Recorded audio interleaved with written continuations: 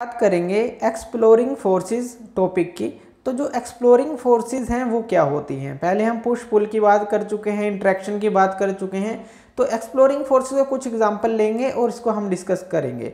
तो मान लीजिए कोई एक बॉक्स है, वो एक सरफेस के ऊपर पड़ा है, यानी कि एक फर्श के ऊपर पड़ा है। ये क्या है? ये बॉक्स है। और एक तरफ़ से एक मैन एक आदमी इसको धकेलता है, इस तरफ़ धकेलता है और मान लीजिए वो इसको धकेल नहीं पा रहा तो वो क्या करेगा? वो अपने एक फ्रेंड को बुलाएगा। तो उसने अपने एक फ्रेंड को बुलाया और जब उसने भी इसके ऊपर फोर्स लगाई, यानी कि उसने भी इसको धकेला तो ये स्लाइड करना स्टार्ट कर गया इस फर्श के ऊपर। तो यहाँ पे क्या हुआ? देखिए यहाँ पे फोर्स अप्लाई हुई है बॉक्स पे इस डायरेक्शन में, जिस तरफ़ ये धकेल रहे हैं। तो ये क्या है? फोर्स आपने अप्लाई की और किस डायरेक्शन में अप्लाई की, ये दोनों ही मैटर करते हैं। दूसरा अगर इसका एग्ज़ाम्पल लें, जो आपका इसका फ्रेंड था इस मैन का तो इसने इसको इस तरफ़ लगा दिया, दूसरी तरफ़ कहा कि आप उस तरफ़ से धकेलें। तो क्या होगा? इसने भी इस तरफ़ पुश लगाना स्टार्ट कर दिया। अब क्या हुआ? ये जो बॉक्स है, हिला नहीं। तो इसका मतलब क्या हुआ? मैन इस तरफ़ से फोर्स लगा रहा था फ्रेंड इस तरफ़ से फोर्स लगा रहा था उसका, दोनों ही फोर्सेज कैंसल आउट हो गई।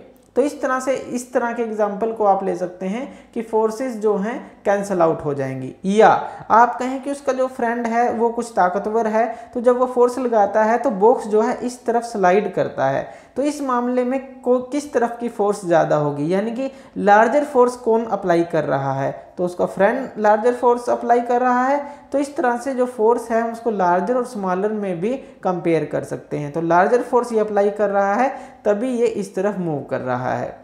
तो एक एग्ज़ाम्पल आप ये ले सकते हैं। इसी तरह से जैसे आप टग ऑफ़ वार देखते हैं, एक रस्सी होती है, उसको दोनों तरफ़ से फ़र्स्ट टीम और सेकंड जो टीम है, उसको खींचती है। तो वो जो खींचती है इस टग ऑफ़ वार को तो वो क्या है, कुछ टाइम के लिए जो रस्सी है एक जगह पे रहती है, यानी कि दोनों जो फोर्सेस हैं वो कट आउट होती रहती हैं और ये रस्सी हिलती नहीं है।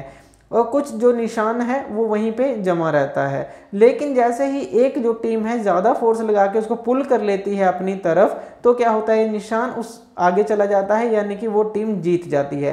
तो लार्जर फोर्स क्या है, जो भी टीम ज़्यादा लगाएगी, जिसकी तरफ़ वो पुल होगी। तो इस तरह से आप लार्जर फोर्स को भी दिखा सकते हैं, और डायरेक्शन को भी दिखा सकते हैं कि किस डायरेक्शन में वो फोर्स लगी है, जिसके कारण वो मूव हुई है। तो इस तरह से ओपोजिट डायरेक्शन की फोर्स आप दिखा दिखा सकते हैं सेम डायरेक्शन की फोर्स आप दिखा सकते हैं। यहाँ पे आपने क्या देखा कि जो फोर्स के पास क्या होता है? मैग्नीट्यूड होता है। मैग्नीट्यूड मतलब उसके पास मात्रा होती है। लार्ज है या स्मॉल है? तो ये दोनों मात्रा होती है तो मैग्नीट्यूड इसके पास ज़रूर होता है। इसको स्ट्रेंथ भी कहते हैं फोर्स की। तो मैग्नीट्यूड उसको बोल दिया जाता है। इसी तरह जब फोर्स के पास क्या होती है? डायरेक्शन भी होती है, यानी कि किस दिशा में वो लगाए और किस दिशा में ऑब्जेक्ट मूव करे। तो डायरेक्शन भी होती है, इसीलिए इस जो फोर्स होती है, उसको वेक्टर क्वांटिटी बोला जाता है। वेक्टर क्वांटिटी यानी कि इसके पास मात्रा भी होगी, स्ट्रेंथ भी होगी और डायरेक्शन भी होगी कि किस डायरेक्शन में मूव करेगा। जिस डायरेक्शन अगर आप पुश करेंगे तो आगे की तरफ़ जाएगा, पुल करेंगे तो पीछे की तरफ़ आएगा, आपकी तरफ़ आएगा।